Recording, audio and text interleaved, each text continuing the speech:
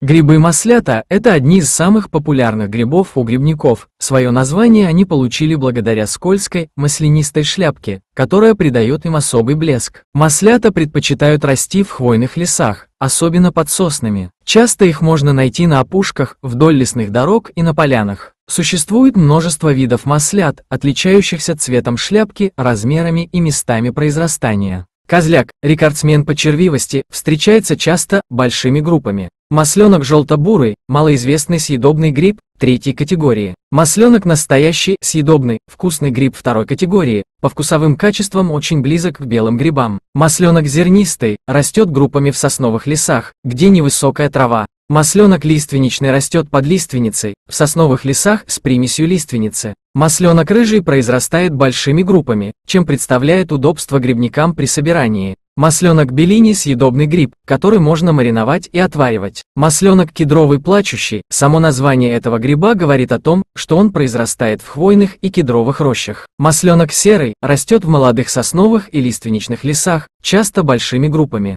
Масленок желтоватый, любит тепло, поэтому встречается преимущественно на почвах песчаного типа. Масленок белый, собираются только молодые плодовые тела, которые сразу же следует готовить. Масленок рубиновый, произрастает в дубовых лесах, встречается очень редко. Масленок полуножковый, грибники не считают его ценным, из-за мякоти, похожей на резину. Масленок раскрашенный, его можно жарить, отваривать, приготавливать грибные супы. Масленок примечательный, распространен в Северной Америке с июля по сентябрь. Масленок рыжий-красный, любит богатую известью почву, встречается очень редко. Масленок сибирский, растет в хвойно-широколиственных и хвойных лесах под кедром. Масленок Клинтона, образует микоризу с различными видами лиственниц.